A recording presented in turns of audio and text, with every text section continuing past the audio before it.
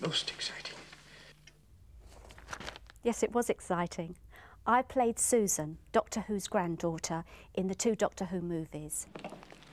There. My latest invention. What, a police box? Of course not. This is TARDIS. TARDIS? It stands for Time and Relative Dimension in Space. Oh. Go inside. Go on. Yeah?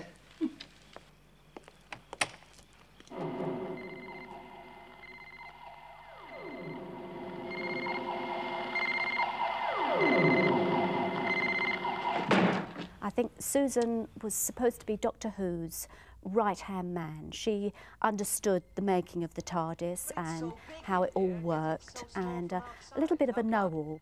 In electrokinetic theory, space expands to accommodate the time necessary to encompass its dimensions. My little fellow scientist, we've been working on TARDIS for many years. This is the final component.